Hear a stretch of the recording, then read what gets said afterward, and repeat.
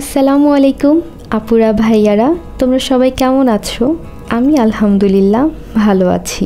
এই শনিবার আমার ছুটি ছিল, সো সকাল সকাল বেরিয়ে পড়েছিলাম সংসারের টুকিটাকি গ্রোসারিজ কিনতে। ঢাকা শহরের এই যান্ত্রিক জীবনে তুমি যদি একটু নিরিবিলি শান্তিতে কখনো বের হতে চাও, তাহলে তার জন্য আমার কাছে মনে হয় বেস্ট টাইম হলো ফ্রাইডে অথবা স্যাটারডেতে সাতটা থেকে আটটার মধ্যে বের হওয়া। ট্রাস্ট মি তুমি ডিসঅ্যাপয়েন্টেড হবে না। আমি কিন্তু মাঝে মাঝেই এটা করে থাকি। পুরো উইকে আমার দুই দিন অফ থাকে। এই দুদিনে আমি ট্রাই করি সংসারের পুরো সপ্তাহের প্রয়োজনীয় কাজগুলো গুছিয়ে রাখার, যাতে করে অফিস শেষে আমাকে স্টাডি ছাড়া অন্য কোনো কিছু নিয়ে ভাবতে না হয় আর আমার পুরো ফোকাসটা যাতে আমার স্টাডির ওপরে থাকে।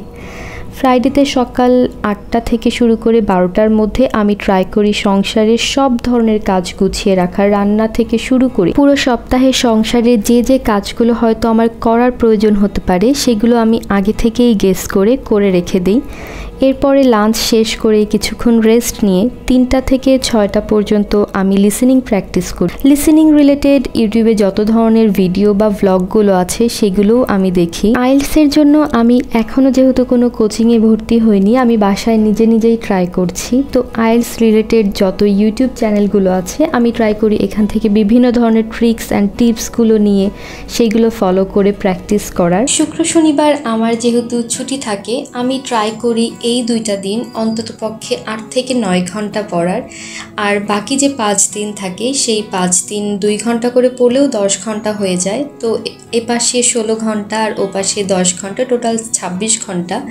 খেয়াল করে দেখলে বুঝবে যে পুরো মাসে প্রায় একশো চার ঘণ্টা আমরা পড়ছি এভাবে যদি পড়ি, যেটা আসলে আমরা পুরো ছয় মাস বা এক বছরেও আমার কাছে মনে হয় না পড়ি। তো তুমি যদি তোমার সামনে কোনো লক্ষ্য রাখো এবং সেই লক্ষ্যের জন্য একটা সময় ফিক্সড করো যে তিন মাস বা চার মাস বা পাঁচ মাসে আমি আমার এই লক্ষ্যের জন্য যে সিলেবাসটা আছে, সেটার জন্য একটা রুটিন করব, সেইভাবে পড়ব। আমার কাছে মনে হয় খুব অল্প সময়ের মধ্যেই তুমি তোমার ওই সিলেবাসটা শেষ করতে পারবে। সেটা আইএলস হোক, বিসিএস হোক, এসএসসি ক্যান্ডিডেটদের জন্য হোক বা এইচএসসি ক্যান্ডিডেটদের জন্য হোক, যে কোনো চাকরির প্রিপারেশনের জন্য হোক, তুমি যদি লক্ষ্য সামনে রেখে একটা ফিক্সড টাইম ধরে রেগুলার পড়তে বসো, আমার কাছে মনে হয় যে তুমি কাজের পাশাপাশি তোমার পড়াশোনাটা খুব সুন্দর করে চালিয়ে যেতে পারবে। নিজের লক্ষ্যে পৌঁছানোর জন্য পরিশ্রম করে যাচ্ছি, অনেক স্যাক্রিফাইস করছি, হয়তো অনেকে এখন আড্ডা দিচ্ছে, ঘুমাচ্ছে, সেই সময়টা আমি আমার এই স্টাডিতে কাজে লাগাচ্ছি। একটা সময় আমি অন্য একটা লক্ষ্য নিয়ে বা চাকরির লক্ষ্য নিয়ে পড়াশোনা করেছিলাম। আলহামদুলিল্লাহ একটা সার্টেন প্লেসে এসে আমি পৌঁছেছি। এবং এখন আমি আমার নতুন আরও একটা লক্ষ্যর দিকে এগিয়ে যাচ্ছি এবং পরিশ্রমের বিকল্প আসলে জীবনে কোনো কিছুই নেই। একটা মানুষের আমি শুনেছি যে অনেক জায়গায় পড়েছি যে মেধা থাকলেও সে যদি সেটাকে কাজে না লাগায়, সে আসলে জীবনে সফল হতে পারে না। অন্যদিকে একটা মানুষের হয়তো খুব বেশি মেধা নেই, কিন্তু সে প্রচুর পরিশ্রম করে যাচ্ছে। সে একটা না একটা সময় তার লক্ষ্যের কাছে অবশ্যই পৌঁছায় এবং সে সফল হয়। তো আমি সেই চেষ্টাই করে যাচ্ছি। জীবনে কোনো কিছু খুব বেশি সহজ নয়, আবার অসম্ভবও নয়। আল্লাহর ইচ্ছা থাকলে পরিশ্রম দিয়ে অসম্ভব ব্যাপারটাকে সম্ভব করা যায়। আমার ভিডিওগুলো যদি তোমাদের কাছে ভালো লেগে থাকে, তোমরা কিন্তু অবশ্যই আমার চ্যানেলটি সাবস্ক্রাইব করবে। এবং তোমরা যারা এই ভিডিওটি দেখছ, তাদেরকে অসংখ্য ধন্যবাদ আমার ভিডিওটি দেখার জন্য।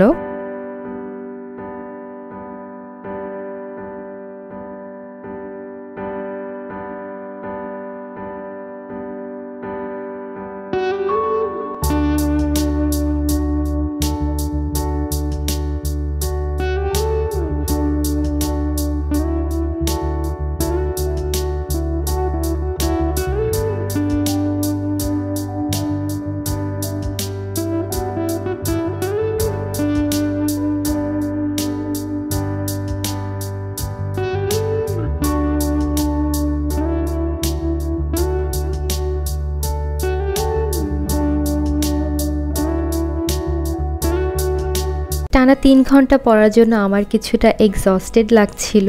তাই আমি কিছুক্ষণ রেস্ট নিয়ে ডিনারের প্রিপারেশনটা সেরে ফেলেছি।